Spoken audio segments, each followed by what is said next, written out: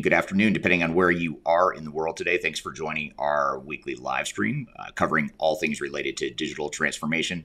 My name is Eric Kimberling. I'm the CEO of Third Stage Consulting. We're an independent consulting firm that helps clients through the world with their digital transformation journeys. And I'm excited for our topic today. I'm going to introduce our guest in just a moment. We're here to talk about best practices for, or best, best practices and lessons learned for digital transformation project management.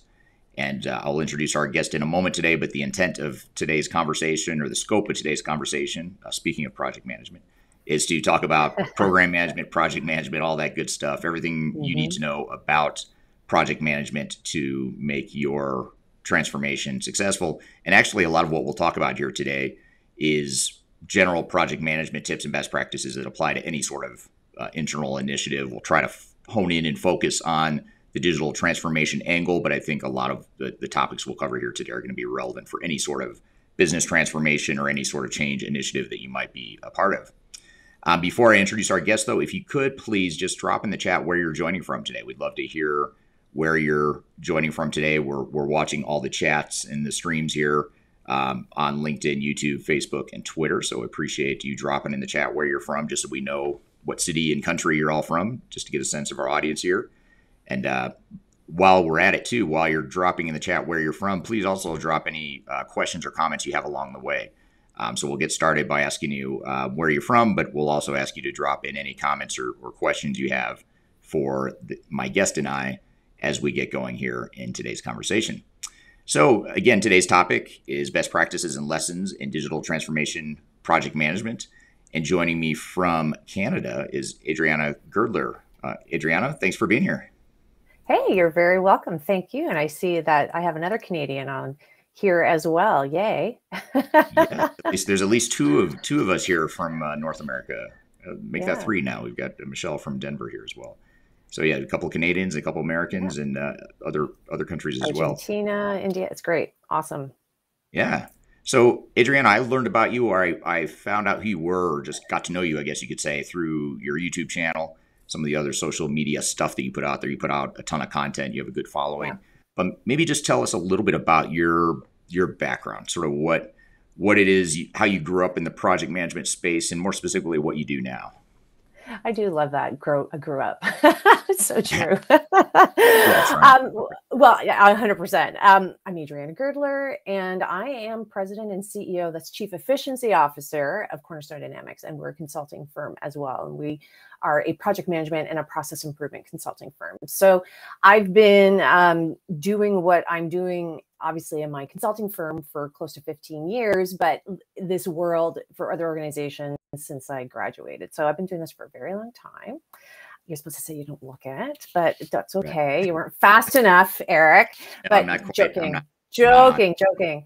um, yeah, so I, I have a very, very background. Um, you know, I, I have the background that I have, I'm quite pleased with because I have numerous degrees and things of that nature. But I started out in sales, went back to school for engineering, uh, worked in automotive and pharmaceutical, and um, then started my own consulting firm. And my consulting firm basically works in all different industries because a project is a project, a process is a process, and it's always trying to find the most effective and efficient way practically to get things done because that's what it's about when we're in the business world is how do we get our initiative and strategies and how do we proceed to move them forward in a way that's actually going to deem to be successful. And that's where people fall off the wagon a lot of times is they don't get to what they need to do or it's very difficult to do it and then there's struggles along the way which by the way doesn't have to be that way. So that's kind of you know who i am. I help companies and people do what they do internally better if i'm going to do it in a nutshell that's a, it's a good way to put it. I love the chief efficiency officer uh, spin on your title too. That's great. I have to have to have a little tongue in cheek. You got to laugh, right? yeah, and what I love, what I want to get into too, what I love about your background and your view of project management, just from watching your videos, is it a the focus on efficiency as you as you describe in your title, but you also mentioned process improvement, and you you seem to have a pretty complete view of not just the project management discipline, but how it ties into other aspects of a business and strategy and, and all that sort of stuff. And that's some of the stuff that you and I talked about as we were prepping for this this conversation. Yeah. But maybe to start, um, what what about um, just starting a, starting with the question of what why is project management so important, particularly to a digital or business transformation, any sort of change initiative? Why why is project management so important? We'll start with the basics there. For sure. So let's first define projects because I think that becomes really really important because we don't realize how many projects we actually run, and that's the problem. So a project has a definitive start and end date. That's really really important. It has a deliverable at the end you usually have a series of tasks associated with it. And most of the time, you pull on other subject matter experts to help you execute on that. That's a definition of a project. Now, interestingly enough, if you take that definition, we have a lot of initiatives that were given that fall under that definition as well. So, whether that's a digital transformation initiative, whether that's your boss giving you, hey, we have this new strategy, I need you to implement it, based on that definition, that's a project. Now, what happens is when we think of projects, we think of these very large initiatives that, of course, you need project management around it. And the answer is yes, of course you do. But what people don't realize is that there's a lot of smaller initiatives, smaller type projects that also need the framework of project management. And that's why project management is so important because it doesn't matter the industry you're in, what you do, you're always going to have an initiative or a project that has a start and an end, you have to move it forward in order to deliverable, deliver on a goal. And if you want to do that well, then there's a framework and a different hat you have to put on in order to be successful. Right. How did you, just out of curiosity, how did you uh, fall into the realm of project management and, and this focus and dedication to project management? How did how did that come to well it's it's it's it's, it's thank you. It's an interesting um, question because when i first started off in my career i was in sales and i did tons of projects without realizing it. I didn't do them well. Okay? At all.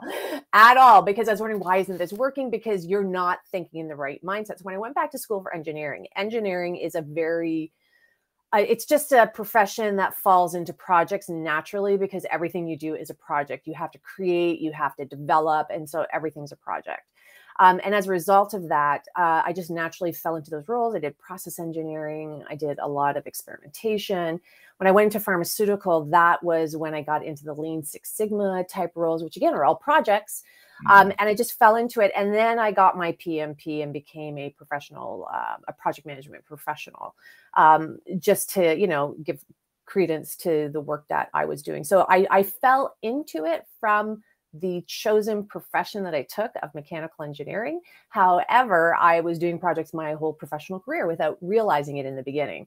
So it was only through, um, because I'm also a Lean Six Sigma Master Black Belt um, specialist as well, um, I'm always looking for efficiencies. So with my own projects, as I do efficiencies, and that's kind of how it all unfolded. And I got to where I am today because my own clients and my consulting firm had always asked me, "Oh my God, you run projects like so well. Can you teach our people?" And that's kind of what kind of spurred uh, me creating my own online uh, project management course because of that, just the requests that I get. So yeah, that's right. that's my journey in project management. It just every single person on this uh, live stream does projects, whether you realize it or not. Right. And so you yeah. kind of was born out of necessity. You didn't necessarily, as a kid, I think project manager. It. Right. It fell. It fell on my lap. And interestingly enough, that's how most project managers become a project manager. right. Is it falls in your lap? You actually have a different profession, and you kind of fall into it. Yes. Can you do schooling for project management? Listen, the best project management um, activity out there is experience. And you can do that in any organization and role that you're in. Because don't forget, there's initiatives. You can just take principles and foundations and you can apply them. And then the more and the more you do well with them, they start giving you more and more projects or initiatives, right? Uh, so that's how you fall into that role. And digital transformation, by the way, has tons of projects. Yes. Tons. Every single initiative actually is a project. Yeah. Yeah, absolutely. Now, I, I, didn't mention this or ask you this in your introduction or your background, but m- now might be a good time to t- uh, touch on it since you, you reminded me. Tell us about this course that you um, that you have, this online course, and you also have a uh, a promo code that you're offering to our listeners here today. So I want to uh, maybe maybe you could yeah. just verbalize that, and we'll drop it in the chat as well, so everyone has sure. a link. Yeah. So um, I have a practical online project management course, which basically I've taken project management, streamlined it because let's be honest, 80% of projects only need some core foundational items. There's tons to project management. And as a project manager, if you're doing large global scale, major projects, yes, you need a whole bunch of other tools that we're taught. However, for most people, you don't. So over the years, I've streamlined it. I've used my efficiencies. I've taken the best of the best. And here's what you need to be successful. In fact, this is what I do with my own clients that I get complimented on all the time. So I made Slay Project Management. It's an online course. I believe the chat, you're going to put the link in the chat. And yeah, and for anybody here who's interested, I'm I have a $50 off coupon for you just because you're here out of my appreciation and gratitude. Yeah, which is an awesome win-win. We get we get to Absolutely. have you and you're giving us $50 towards your course. Um, and actually, if you look in the chat, um, check for from either Kyler and or Third Stage Consulting. There's a link uh, to the to the course as well as the promo code in the chat yeah. here for on whichever platform you're watching. So be sure to check that out. Take uh, off 50 is the coupon code. Take off 50, and yeah, and that's and your uh, now your YouTube channel is called, um, or you, you use that phrase "slay project management." That's sort of your your tagline. It seems to be. Yeah, slay slay your project and excel in your career. So I have a project, a YouTube channel. Check it out. Tons of information uh, on projects, but not just about how to do things. So it's really an educational channel. I try to keep things in short snippets because there's a lot of individuals out there who just need some guidance and direction. So that's, and I'm almost at 100K. So if any of you want to subscribe, I would be so grateful. I'm trying to get over that hump. I want that silver plaque. right. But yeah, it's it's all about uh, project management. There is a whole bunch of other career related um, advice in there too, because don't forget, projects are in the professional world and there's a lot of things in our projects that ex- that go outside of the realm of ex- uh, of executing on a task. It's the communication. It's how do we bring engagement? How do we run efficient meetings? Because all of that is related to project management. So it's really looking holistically at how can you do really well in your professional world and how can you use tools and techniques in order to help you to be really successful and really to make your life easy. Yeah yeah, and you, you mentioned this dynamic of your upbringing in your career and how you sort of fell into project management out of necessity yeah. and it wasn't something you necessarily planned to do. And that's something we see a lot with our with our clients too. You know, they're they're being asked to lead these big global transformations, but they haven't necessarily managed a project or been formally trained in project management before. So I wanted to ask this question on behalf of one of our audience members here from Kyler, who's actually our, our podcast co-host um, who asked, well said, what are some of the core skills needed to make a project manager successful? So, in other words, if I'm if I get a project handed to me, whether I like it or not, I've been asked to lead this initiative yeah. and I want to lead this initiative. What are some of the, the key skills and some of those core skills that you would recommend that you, you sharpen? Yeah. So I, the first and foremost, and I say this all on my YouTube channel, communication is critical. Um, I think a lot of project leads, managers, individuals don't understand it. I don't care if you say things once, you have to say it over and over. Your communication channel is what makes and breaks a project. There's a whole bunch of other skill sets you need too, but if you don't have really good communication, then that has huge ramifications. So that communication is getting clarity, that communication is getting confirmation of understanding, that communication is providing updates to key stakeholders, that communication is ensuring that you and your project team are constantly in sync so that when risks pop up, you can start addressing them right away. So, communication is probably the most fundamental skill set. Now, what's interesting and kind of not even ironic, but just interesting, that's probably a skill set for any profession is hmm. communication. And it's sorely lacking. I find people get so busy and wrapped up in what they're doing that they drop communication. But with projects, it's even more so. Why? You have a short window to be successful. I don't have a length of time. I don't have over a period of time where it's okay and oh, I didn't get to you. No, if I don't get to you, it could have major ramifications on the activities that you're trying to do. So communication is key. Uh, documentation is the second one. You probably hear that all the time. Paper pushers, paper pushers. But I promise you, you do need your paper documentation, and you do have to do a good job in ensuring that you capture everything and you document because what happens with short sprints of activities is if things fall through the cracks and you have major things that fall through the cracks, if you don't have proper documentation to show you've done your due diligence, the fingers start pointing at you. Um, and so that's something that becomes really important. But not only that, if people promise you stuff, you need to go back to the documentation. But documentation also provides clarity. what people don't realize is really good documentation. If I hand that off to my team, they should be able to off, go off and run and start doing their tasks without me having to micromanage them. So really good. And there's tons of types of documentations that that that, that you can do. Um, and then really good meeting management, which is really interesting. And again, all of this is transferable to any activity you do. But think about it in projects, how do we get together with people, particularly virtually? And we have global projects or we have global teams. What do we do? A meeting. A lot of people do not know how to run a meeting, let alone run an effective and efficient meeting in order to get answers to move things forward. How many times have you gotten out of a meeting and you have no idea what you're supposed to do? Right. Or you think, or you think you know what you're supposed to do, but you don't have a due date. Right. Even worse. right. So that's why that all comes, it all comes together. Do you need you know, uh, those are put the top three. Are there more? Absolutely, there's more. Absolutely, there's more. But those are the top three, I would say. If you're going to get into it, great communication, really good documentation with your organization, and really good meeting management, if you understand those, that is going to help you really soar as a project manager. It's fundamental. Obviously, there's other stuff as well. It's not just those three, but those are definitely the three I would call out because they're sorely lacking. I see it all the time right. in any role. Yeah, and it it seems like um, you know a lot of what you're talking about is relevant whether you're um, a consultant or service provider that needs to manage projects on behalf of your clients, or if you're an internal stakeholder at a company that's going through a transformation.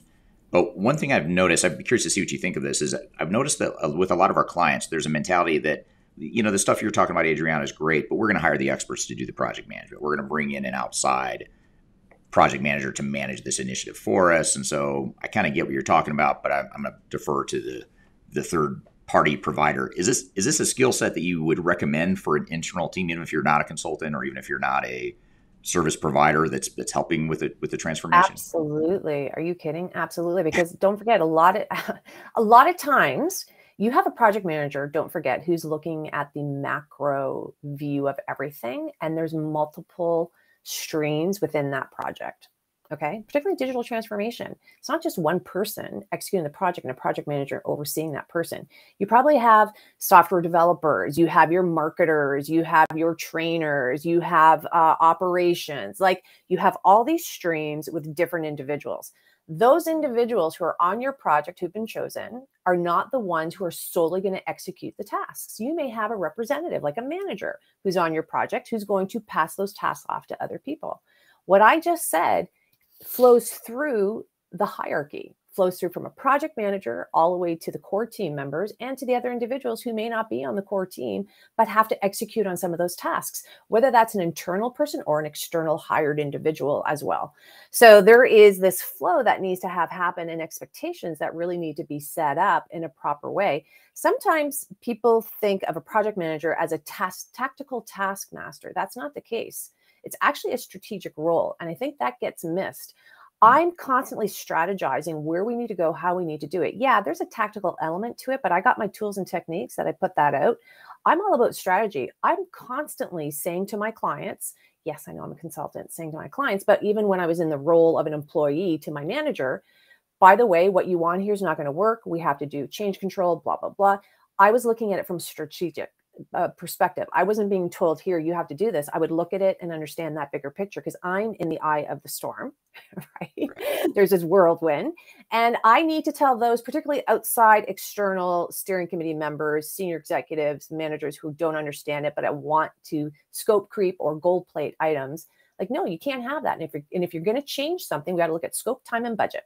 Let's look at our priority matrix and let's understand how we're going to do that. And there becomes a negotiation that gets associated with it.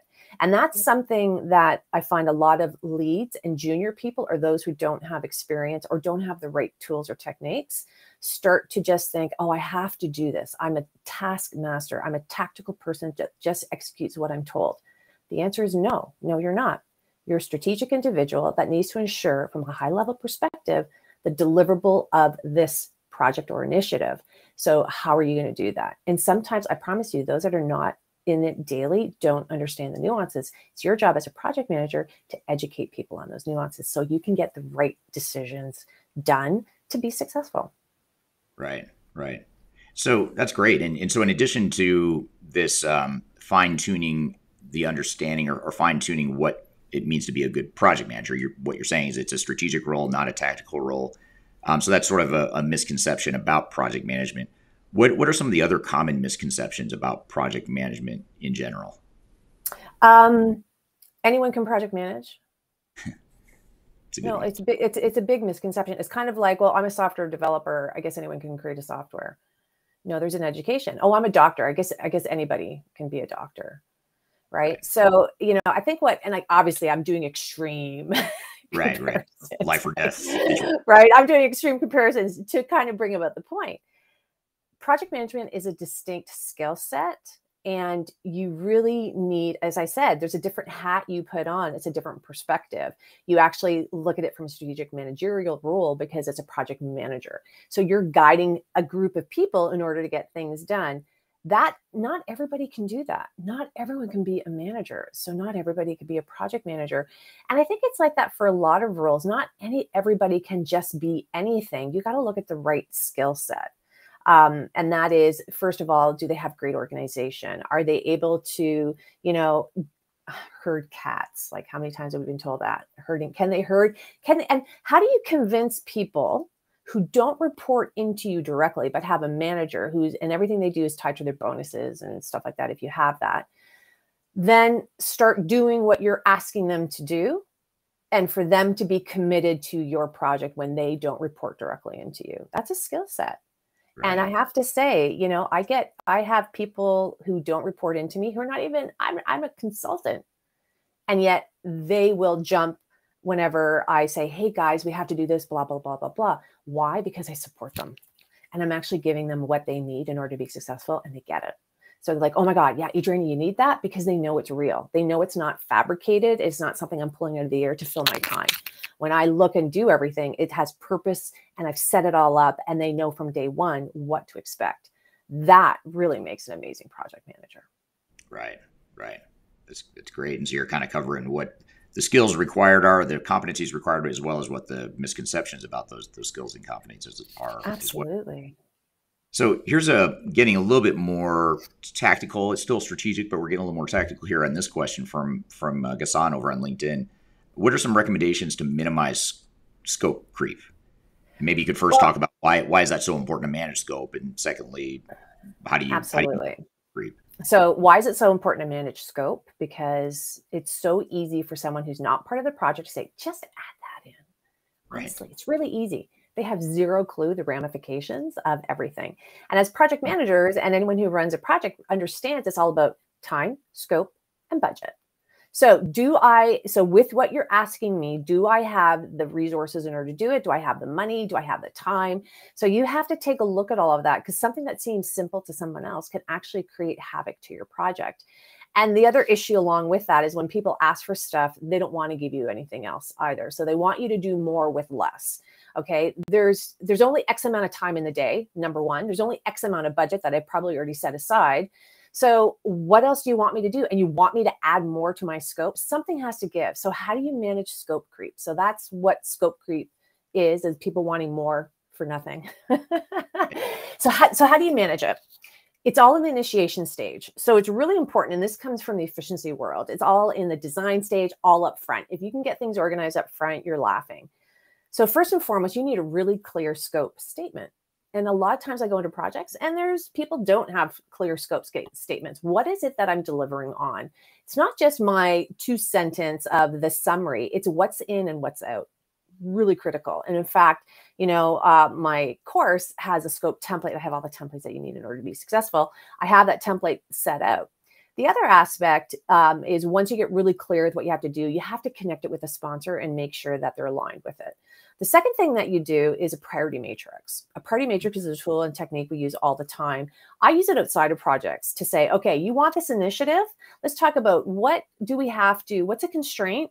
What can we optimize? And what do we have acceptance to change? Because a lot of times you go into corporations and everything's a number one priority. So if I have to shift something when I need to shift something, where can I go? So you can only pick one. What's the one constraint? Is it time, scope, or budget? And you do this at the beginning when everyone's really nice and uh, they're polite and you're forming as a team and they're not going to challenge you and they're going to give you the answer and all that stuff. So you do it all up front. So, what is your constraint? Is it a budget? Great. Just tell me that I can't change my budget. But then what can I optimize? Is it time or scope? It's time. Okay, so what you're telling me is ideally, I want you to keep the time deliverable of, let's say, April of 2023. Um, but if you need to change it because it's going to impact on budget, well, then I have some flexibility with that. And then what can I accept? Scope is the one last thing remaining. So now you're telling me I have the ability to shift my scope, take things out in order to ensure I'm on budget and I meet my timeline. So that is how you manage scope creep. Because when someone comes up to me and says, Adrian, I need you to add this in here, I just pull out my priority matrix. Again, my documentation, which is my life, mm-hmm. my it's your, it's your lifesaver. Pull it out and said, let's talk about it. My budget is a constraint. So how much is this going to cost in order to do? My time is also I have to opt. So how much time is it going to add? So now I start having a really good solid conversation around scope, time, and budget that these people see um, from a perspective of a document that we're now talking about. I got approval already at the beginning of the project from all the executives and sponsors that they agree that that's the priority matrix and we're all going to abide by it. And that has a huge weight. So if someone really, really wants it, then they may say, I'm going to give you more money for it. You don't have that power if you just accept it. You have to go through and filter it through numerous uh, techniques. And the other technique is change control. I have change control forms. I give it to one pager again in my course that I will give to people and say, okay, great, you want that? Can you please fill this out first? And I have to review it with my core team and then we'll raise it up to the steering committee. You'll be amazed. That alone will stop any request for scope creep because they have to think and they have to think and they actually have to do a little bit of work. And because they have to do a little bit of work, they're like, ah, I really don't need it because it's no. so easy just to tap you on the shoulder, say, hey, Eric, can you do me a favor? This would really help me if you just add this. Not a problem. Fill out the change control and let's talk about how it's going to impact scope, time, and budget. That's really and interesting. I've never thought of that, like how just the fact that you have that control in place isn't just about the control itself. It's the fact that you're sort of weeding out the the mm-hmm. uh, you know the trivial sorts of scope requests or scope change request? there is tons of trivial requests. And I'm sure with digital transformation projects, you're in the middle of a build and now you're being asked for more requirements. That's not a problem, but you're going to have to put that down the list and you're going to have to add it into your next planning cycle because it is not going to happen now. So it, it becomes fascinating and it has impact on time and it has impact on budget and potentially resources because if you're hiring external people you may only have them for a set contract.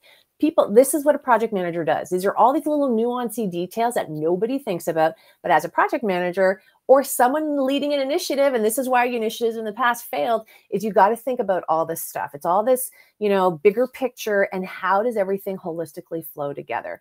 Allow your subject matter experts your core team members to do what they do well because they are smart. They're there for a reason. Allow them to do their job have their back and ensure that you can remove all the roadblocks to it and ultimately is going to end for overall success for the project. Right right. Now as far as making decisions on whether or not you increase scope and you let's just say you get me to fill out a change request uh, change control form and um, you're gonna now your job is to figure out as project manager um, is that something that's acceptable or not? And you've got the parameters you've got the scope the the cost and the uh, timeline you know the, the general parameters set for the project what are some of the other ways you would filter out those potential changes of scope? Is it a business? Are you tying it back to a business case? Or are you are there other you know ways to tie it back to the overall strategy of the project, or how, how do you? Yeah. Yeah, I, I, have in my change control form a series of questions that get asked. So it's not just the request. It's like, give me the justification for your request.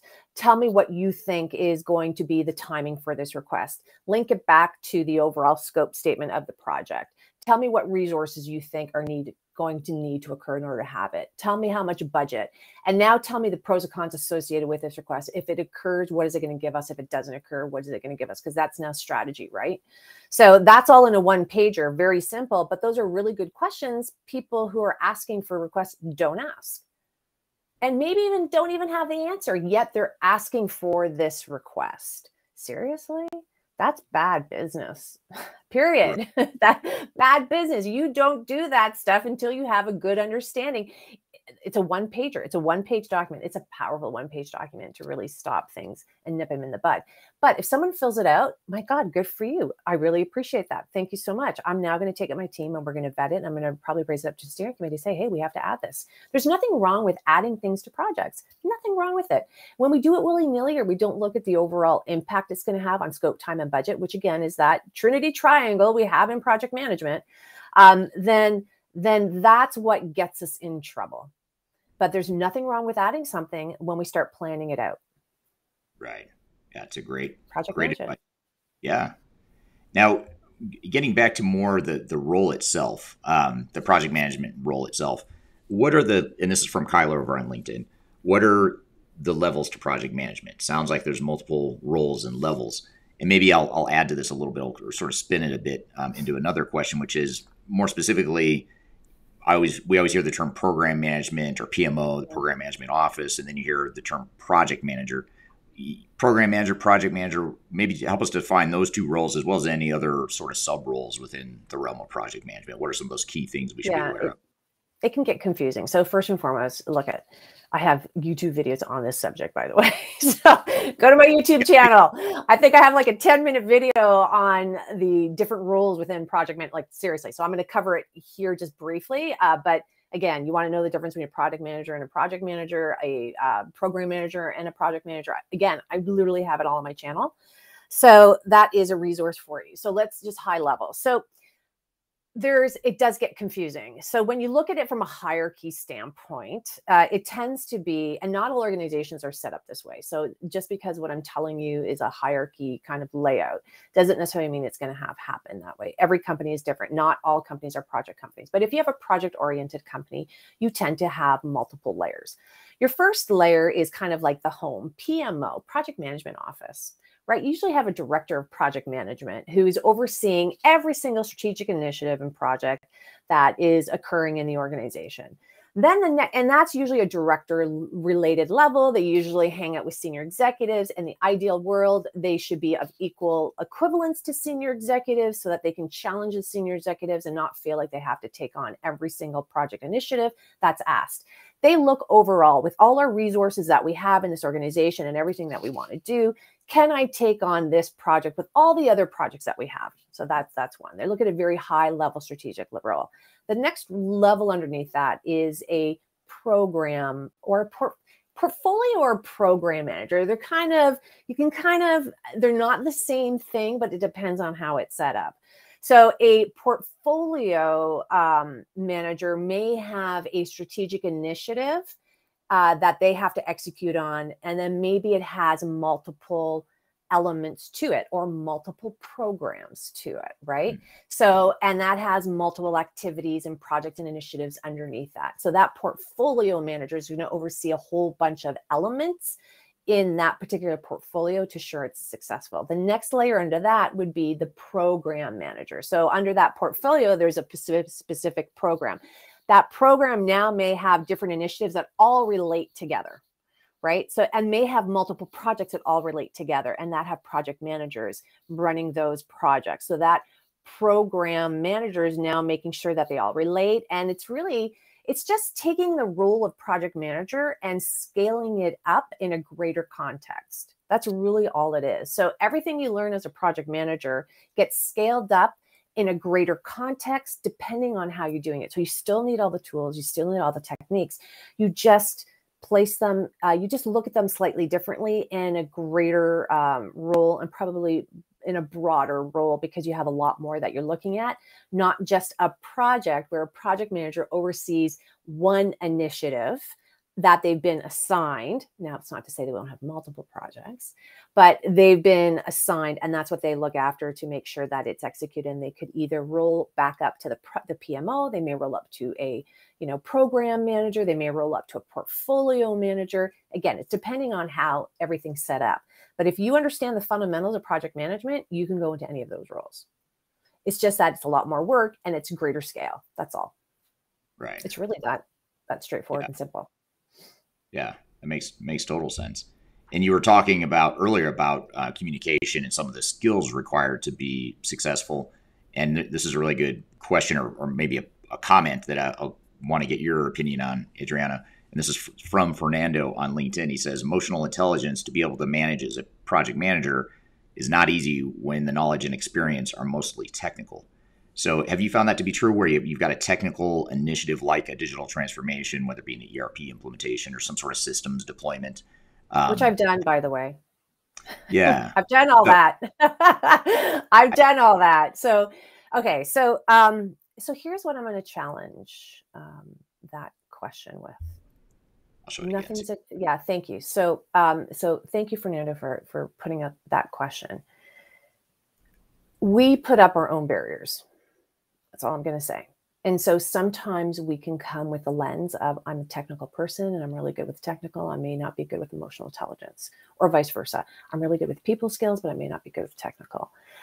Throw all that stuff out the window. If you're leading an initiative, you're not leading an initiative solely with automation, which means mm. everything's robotic. It's with people. So that's why you got to think differently. Yeah, you know what? Here's a thing now in my career. I'm I'm been doing this for over 25 plus years. Um, I I'm not the expert anymore. Okay, I'm not. Yeah, I have a technical background.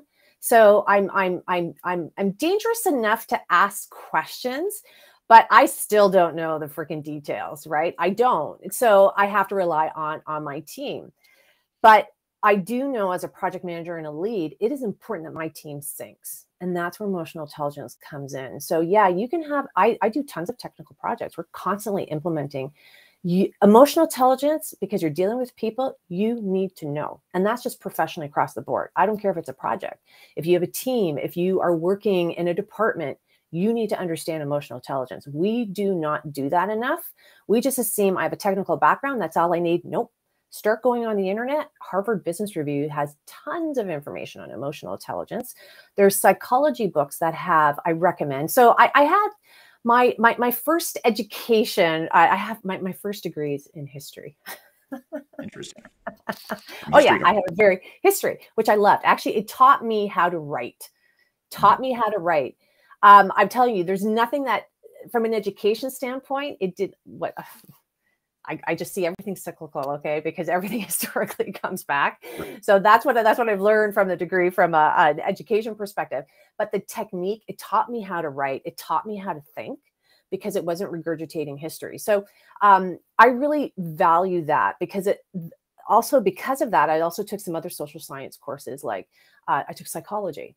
And that was imperative from a human behavior perspective because we are dealing with humans and we're dealing with people and there are behavioral related issues. And the interesting thing is it's not just about us looking at externally other our team members and their behaviors. It's us looking at ourselves as well. So if mm-hmm. you're going to lead anybody in any role, you need to have a good foundational understanding of who you are. You need to have a good foundational understanding of what you represent what are your values so that you can live them constantly. And then you need to have an understanding of emotional intelligence and how you can pick up on things with individuals so that you can be successful. Because i promise you there are times i'm in meetings and someone did not get what they were supposed to get done. Now i have a couple of things. I could react okay? I could react and yell and be upset. Well that's what is that going to get me? Zero. Right. Anything it's going to get me them being pissed off and upset and humiliated mm-hmm that they got called out in a meeting. So, if anything, I pick up on the cues. This is why in virtual meetings, particularly if you do a lot of virtual, I always ask people to put on their camera. I cannot get those cues from a voice. I need to get it through a facial expression. So, a lot of times I see in the facial expression and give the benefit of the doubt of the person. This person always delivers and they haven't delivered this time. Whoa, I wonder what's going on in their life that something occurred. So, I'll reach out to them afterwards. I'll go, okay, you know what? Jane, thank you so much um, for letting me know that you didn't get that done. Why don't we, uh, you know, um, connect offline and just talk about this further, and we'll move on to the next agenda item, and then we'll kind of figure things out that way. That's emotional intelligence: is to pick up and understand and see the nuances that are occurring that are in cues that are not verbal. So that becomes really important and to pick up on that and understand that greater picture. If you're that's a huge skill set that will take you in your life professionally, personally as well, because it's all about relationships. It's all about people. Right. Now, on the flip side of that, um, sort of shifting gears from the emotional intelligence piece and some of the the intangible aspects or the the soft side of project management. What about the other side of this? And you were sort of alluding to the fact that you're not an expert in any one technology or technology in general, but you're you're you could still be a very effective project manager. Hundred um, percent But this question from Alexa over on LinkedIn is as a project manager, can you abstract away the tech or is it beneficial to understand the tech or the domain you're working in? So, yeah, the answer is yes to both. You can do both. All right. It's who you are as a person. I am a knowledge seeker. I love knowledge. Um, and I like to understand what I'm dealing with. I don't need to know the nuances and the uh, full details. I'd like to understand what I'm dealing with. So I do a lot of tech projects. I do a lot of tech projects uh, with a lot of software development. I am not a software engineer. Okay. Sometimes those things go way over my head, but I'm really good at what I do. And I'm not afraid to say, I don't know. And can you educate me? So a lot of times in meetings, I let people know, look at my expertise is to give you this big picture, is to manage everything, to make sure we're on track. That's why I do a lot of the documentation, the organization. Again, there's templates. I'm going to throw you back to my course because it's good for project management, any initiative. Um, I know shameless plug, but I'm letting you know it's it's like this is this is what I do. So as long as I get all that organized, I then start working with individuals to understand a little bit better. Because if I have to develop my action plan, my, my my WBS action plan, I need to have an understanding of how things work. So I will spend time with people, and a lot of times people throw out acronyms and stuff like that, and I'll go, you know what, guys, you'll have to forgive me as your project manager. I just need to have an understanding what you guys are talking about. Can someone explain that to me, please? And they will. And then all of a sudden, I get to know more, and you start to pull out all these little nuggets. And again, I don't need to have all the answers. I just need to know enough to be able to challenge. That's all. And saying, okay, and mm-hmm. put and connect the dots because that's my job is to connect the dots, right? And to help my team and to help them think a little bit differently too. Because sometimes technically, um, technical individuals again i'm being very i'm broad stroking here not everybody's uh, made of the same paintbrush can have tunnel vision and can say it has to happen like this. And so my job is to say, mm-hmm. okay, look at we have a time constraint. We now have to do kind of things in parallel. We have to be a little more agile. Um, and I'm not talking about just agile methodology because that's another thing as well. But we have to be a little bit more agile in approach. And I'm going to help you remove those roadblocks and let's maybe think of a couple things, not have tunnel vision, but let's see how we can take it out and share that bigger picture. That becomes really uh, powerful. Yeah, and it, it seems like as, as you're talking and as you know, I'm sort of unpacking everything you're saying here, it seems like as a good project manager, you really have to have a, a pretty broad understanding of multiple things. I mean, not just technology, not just emotional intelligence, but also uh, process improvement and change management and data migration, integration. You think of all these different things that happen in a big initiative, and you, you can't know it all, you right? To your point, you can't each of these areas, but you kind of have to know how that all ties together the technical pieces the process pieces the people human sides of things. And how, how do you manage that? I mean that's, that's a lot so for a project manager it, to it is and uh, you don't have to know it all on day one okay? Like what do we learn for softer skills? It is okay to say to someone i'm learning. I don't have all the answers. I need your help. If anything that actually connects people more to you because they go because because now you've just put some responsibility on them you didn't have the assumption, right? So over the years, so over the years, I've done so many different types of projects. So now I look at, as I said, over 25 plus years, I have a shitload of experience. I'm so sorry if I swore. I shouldn't have swore.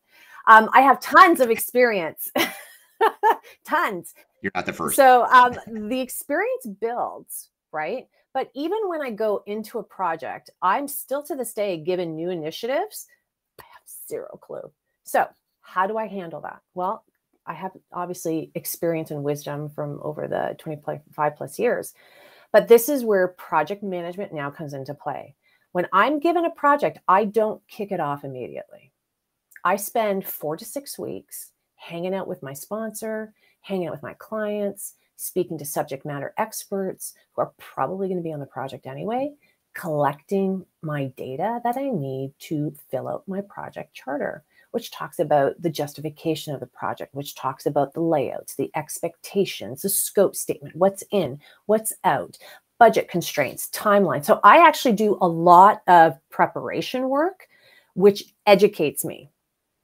Educates me. And the sponsor, there are people out there who know, and sometimes not, maybe not everybody knows full start to end, but it's my job to pull it out and piece it together. So I have this package now and I get it approved by senior executives and steering committee. And I've learned this over the years. Do not move forward on a project without getting all your ducks lined up in a row, at least benchmarked. It's obviously going to move as time progresses.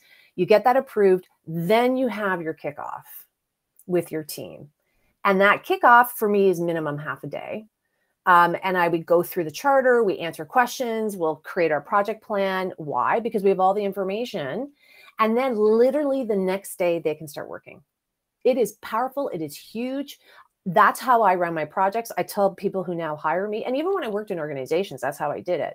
I would always push back on the executives. Do you want this done well, or do you want it like do you want it fast, or do you want or do you want it done well? If you want it fast and you're pushing me to get it done, I promise you I'm going to come across tons of issues because you're not giving me the time to plan and prepare to set this up correctly. And now with clients, I go, look at, I have a way of working. If you want to hire me, you got to follow my way of working. Are you okay with that? And if they can't, I'm saying, well, then that's okay. Find a different project manager. But I'm letting you know that this is how I work. And it, it it's it's if you can take that away and prep, it's like think of it painting a room. You want to change the color, but you moved into a house, you bought a house. Oh my God, congratulations. Smoker used to live there. Damn it. Stinks. There's stuff on the wall. Are you just going to take a coat of paint and paint immediately? No. Why? Because it's not going to last. You're, you're going to, it's going to seep through. You're going to have issues. Okay. It's the same thing with projects. What do you do? Well, you move everything out. You wash the walls, you prep it, you prime it, then you paint. Paint is easy. Executing your project is the easy part it's all the prepping and organization that you if you do properly and well and you do it up front executing a project is easy in fact that's where all my hard work is that's why i'm always like oh i can't wait for the project to get into a groove because man it just runs on its own it really does when you do it well yeah. well what's funny about what you're saying is that it seems as though what what you described as far as taking those four to six weeks or however long up front to prep that may seem like you're slowing down we're not making progress but it seems like, in my mind, that's the faster way. If you if speed is important to you, then that doing it the way you describe, it doesn't feel like it in those four weeks. Maybe you might feel like, well, we're not hitting any milestones yet, or we're not we're not seeing any progress in terms of building a new process or building a new technology or whatever the deliverable is. But you are setting up to where it can run more smoothly, and you run into a lot less issues to where you're probably going to finish it faster and cheaper than if you wouldn't have done that prep stuff up front. 100%. And the problem that people do is, oh my God, I got this initiative. I'm going to kick it off. Team, come in here. This is what we have to do. And they all have questions, but you have zero answers. Zero answers. Okay, I'm going to get you your answers. And then four to six weeks go by because you still have to use that four to six weeks to get all those answers, right? That's what people don't realize. And then what happens? You lost the momentum. They're busy on other projects right? They are now like, well, look at, I don't have time for this anymore. And now you've just created more work for yourself because you now need to get new people. You got to bring them up to speed in the whole nine yards. So it's like, look at, you have to plan anyway.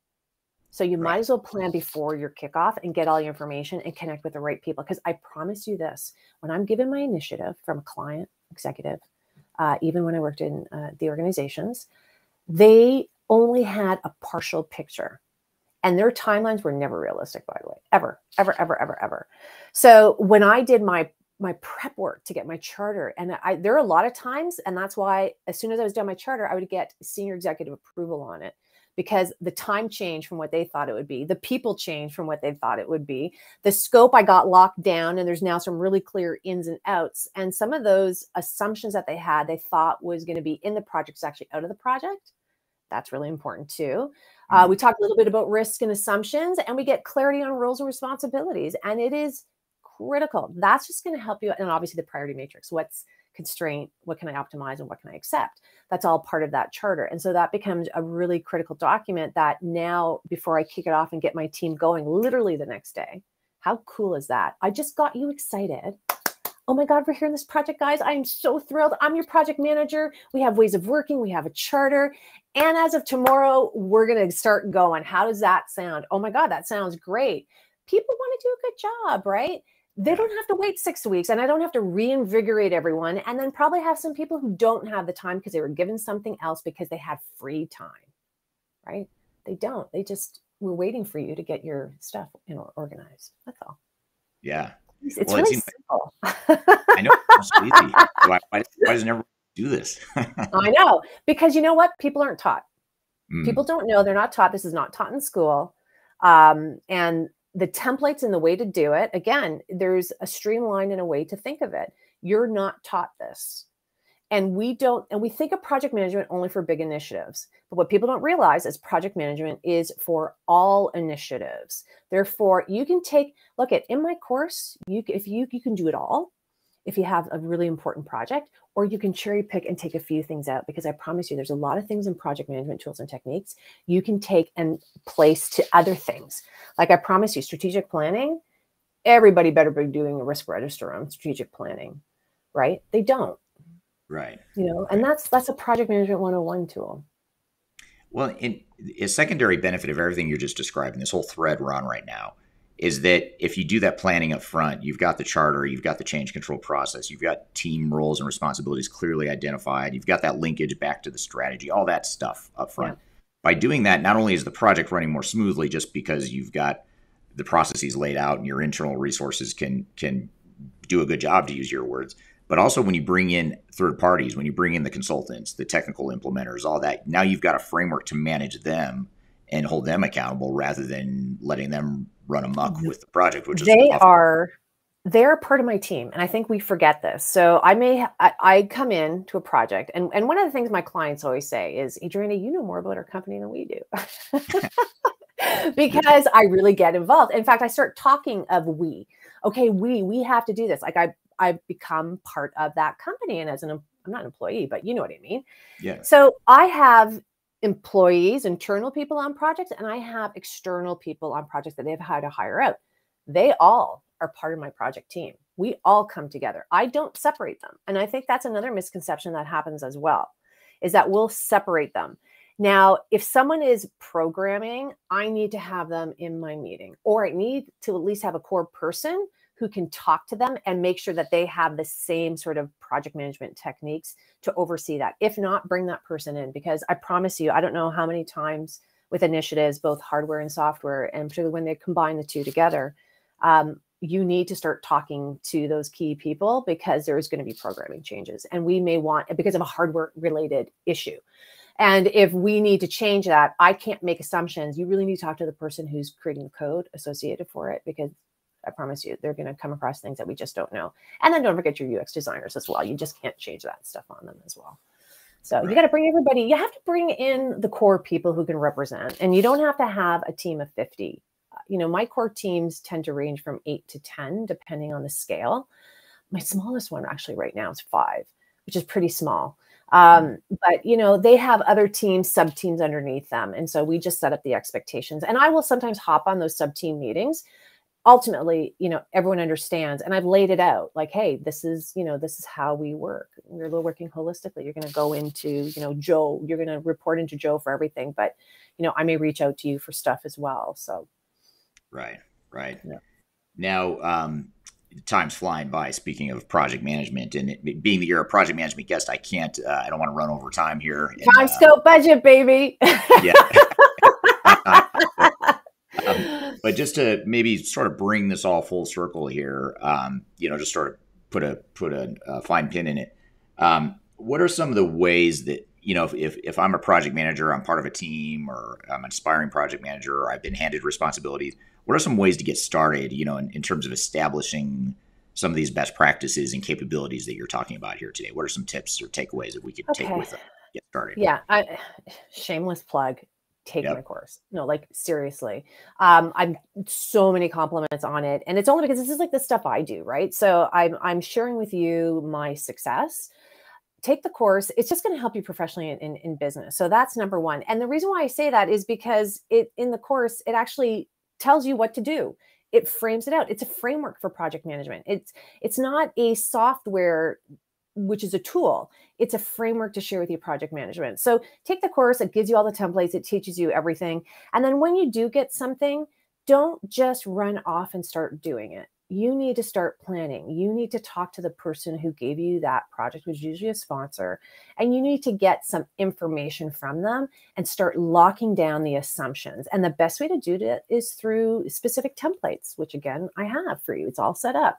So you lock all that down and then you create your charter and then you do the kickoff. And then again, there's a roadmap that I have that that shares with you the whole process. But again, it depends on what you are trying to achieve and the scope and how how large that initiative is because you don't have to do everything that's in my course. You can cherry pick and do a few things but it really you know has um, impact and, and it will guide you on that's all i do. There's a freaking checklist. I just pull it print it out and go okay here done that. Check check check check. It's it's really you do not and this is the efficiency part of me this is my master black belt coming out.